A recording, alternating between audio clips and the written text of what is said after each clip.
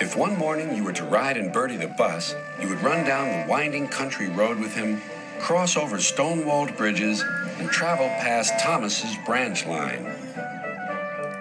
Then you would hear Bertie's friendly greeting as he sees one of his friends pass by. His name is Tom Tipper, the postman.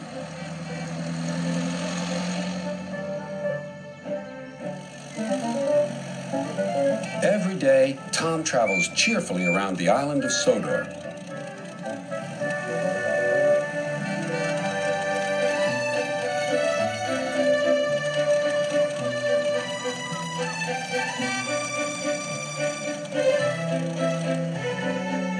He stops at stations collecting letters and parcels from Thomas and Percy's mail trains. Then he delivers the mail to farms and cottages far and wide.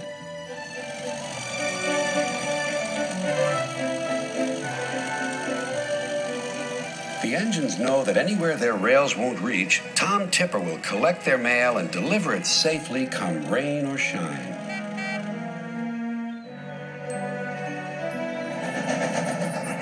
He's always ready to help load mailbags onto the trains, too.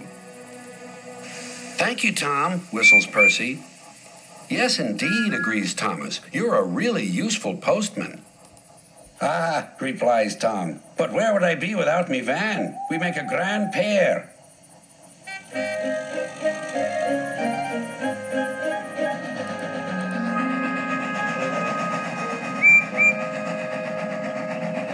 One day, Tom wasn't at the platform.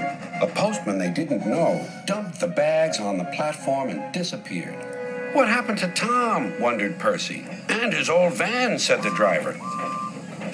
No wonder the new postman looks cross. Trying to carry mailbags on a bicycle would make anyone miserable. Next morning, the engines were glad to see Tom back again, but he looked very sad. The postmaster decided my van was too expensive to run. The rounds take longer on my bike. I'm sorry, I can't stop to help you.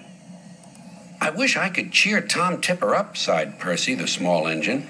He was just wondering about how this might be done when his thoughts were rudely interrupted. A man was shouting at Tom Tipper. You've got to come back to Sir Topham Hatt's office. He needs you to sign some important papers right away.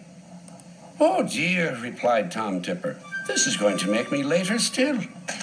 He was in a hurry and being careless. He propped his bike against Percy's mail car and rushed away. Stop! cried Percy, but Tom was out of sight. There was worse to come. Percy's driver hadn't seen the bike and he started away. Oh no! cried Percy. Now there'll be trouble. And there was. Percy's driver quickly stopped the train. Everyone came running to the scene. Tom Tipper's bicycle was in pieces. I'm sorry, Mr. Tipper, apologized Percy. Never mind, Percy, said the postman. It wasn't your fault. But now I've only my legs to get the mail delivered. Whatever will happen next? Tom Tipper soon found out. Next day, he was waiting happily for Percy.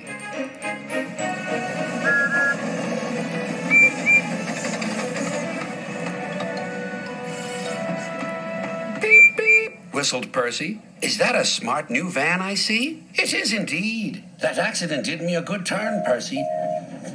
My chief decided a new van would do the job. Much better than another bike and worth the expense. Now I can always be on time again.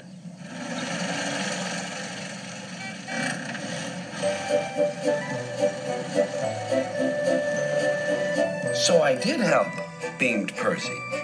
But by accident, you might say.